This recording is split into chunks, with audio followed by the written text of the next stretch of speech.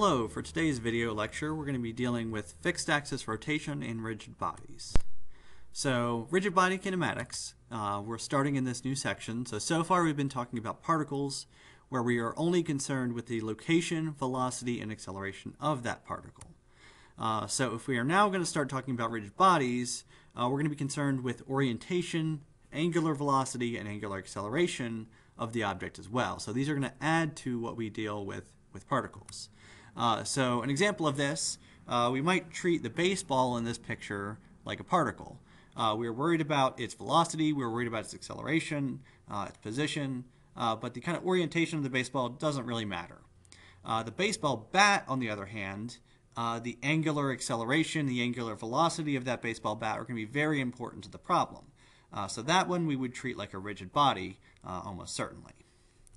All right, so we're going to start with fixed axis rotation. Uh, this is where the body is rotating about some fixed axis, uh, and the axis is not moving. So this will allow us to examine the orientation, angular velocity, and acceleration terms in isolation, uh, since there's no translational motion to worry about. All right, so uh, examples of this are also pretty common. So the flywheel uh, that we have here on this antique motor uh, is going to be rotating about that central axis. Uh, also, something like uh, a CT scan, there's a gantry inside of that structure there. Uh, it's going to be rotating very fast uh, about a fixed axis. So there's no physical axis in the center, uh, but there is a center of rotation there. Uh, so both of these count as fixed axis rotation, where we can deal with these terms without worrying about translation. All right, so to examine the rotation of the body, we can use the formula shown below. So, first of all, uh, theta is going to be the orientation. And so in 2D, it's going to be theta of t. Uh, similarly, how we had the x uh, for single uh, dimensional motion uh, here. And a lot of this is going to uh, mimic the one-dimensional motion equations that we've seen before.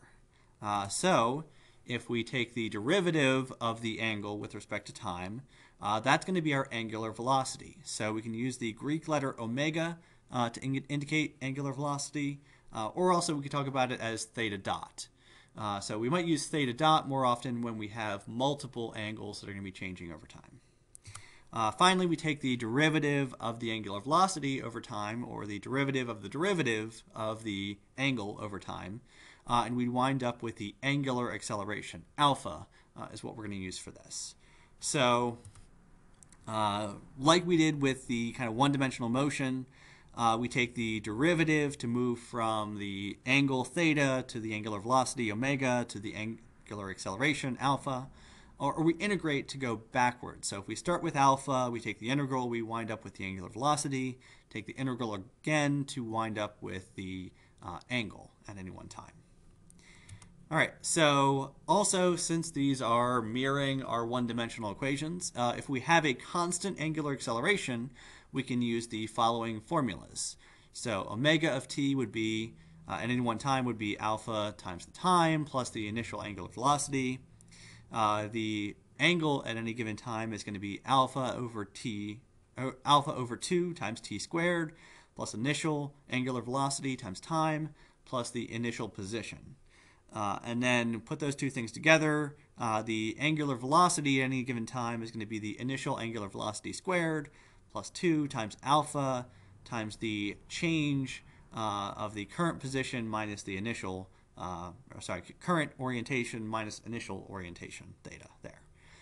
Uh, so this is just a direct, we've taken our, um, basically our position, so this is the equivalent of x, this is the equivalent of velocity, this is the equivalent of uh, acceleration there.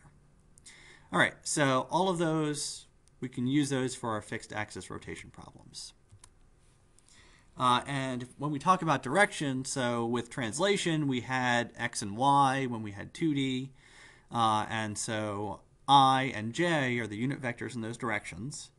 Uh, in rotation for 2D, we talk about the rotation about the axis that we're looking at. So in 2D, that rotation is always going to be about the z-axis, uh, which we use k, the k unit vector, to indicate the z direction. Um, and so this is very similar to the way the moments work. Uh, the axis of rotation, along with the right-hand rule, uh, indicates the direction of that rotation vector. All right, so next up, let's talk about motion of a point on a fixed axis. Uh, so if we look at motion about a fixed axis, the material on the axis of rotation itself is not moving, uh, but all the points not on the axis of rotation are moving. Uh, and to discuss the motion of a point on a rotating body, we're going to look at polar coordinate systems uh, and borrow some of the analysis we've done earlier. Uh, so here we've got a record player. That record is turning. Uh, the center, so the record as a whole uh, is not really moving.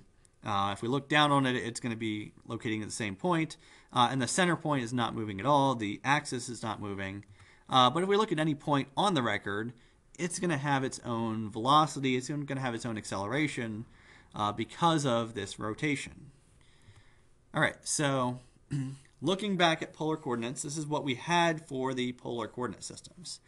Uh, we had uh, r, so the position is r in the ur direction. The velocity is r dot ur plus r theta dot u theta. Uh, and acceleration, we have the formula all the way down at the bottom. All right, so for rigid bodies, uh, the point on the body maintains a steady distance uh, to the axis of rotation. So the distance between O and P is not changing. So this is our, you know, some point out on the record and the central central point. R is not changing, which means that R dot and R double dot are zero. So if we plug R dot is equal to zero and R double dot is equal to zero into the formulas on the previous page, this is what we would wind up with. Uh, so the uh, position doesn't change. We're not worried about that too much uh, velocity of any point is going to be r theta dot in the u theta direction or r omega in the u theta direction. So it's going to be whatever this distance is from O to P uh, times our current angular velocity. Uh, and the direction of travel is going to be the u theta direction where ur is going from O to P, u theta is 90 degrees counterclockwise from that. Uh, so acceleration, when we lose the r dot and r double dot terms, uh, we're going to have two forms of acceleration. So we're going to have the centrifugal acceleration, so negative r omega squared ur, and so that's going to depend on the angular velocity and again the distance from the axis of rotation to our point. And then in the theta direction, I'm going to have r times the angular acceleration. All right, so these two terms both come into play for acceleration. All right, and building on this even further, we have rolling without slipping. So though it isn't a fixed axis rotation problem, uh, we can extrapolate just a little bit further to discuss uh, the instance of a wheel kind of rolling along a surface. Uh, so if you imagine fixed axis rotation, so imagine our car, we lift up the car and we press on the gas and the wheels are just spinning in the air. Uh, the velocity of point P would be the following, uh, r omega in the u theta direction. So I've put the axes on there. P is the uh, a point on the edge of the wheel. In this case, it's going to be the point that's going to be in contact with the ground when we put this down. Um, so the acceleration would be uh, the following. Uh, so I just pulled that directly from the slides above. And so this is all without the wheels touching the ground. Uh, now, if we move on, so if point, point P isn't moving though, so if we put our car down, and now we're worried about the, the wheel rolling along the ground. So point P isn't moving uh, because in rolling without slipping, there's no relative motion there. Uh, so if point P isn't moving, uh, instead the central axis is moving. And it's going to be moving in the equal and opposite direction. So the velocity of the center is just the opposite of what the velocity of point P would have been. So it's going to be negative r omega in the u theta direction. So it's going to be moving the opposite of this direction here, uh, with a positive rotation, which is what we've got shown here. Uh, for acceleration, so point P is actually accelerating in the r direction, but it's not accelerating in the theta direction. Uh, so the acceleration of my wheel would be negative r alpha in the u theta direction, uh, u theta direction that we have shown. So that's going to be something, kind of a little extension of fixed axis rotation for a wheel that is rolling without slipping. Alright, that's all we have for today's video lecture. Thank you for watching, and I hope to see you again.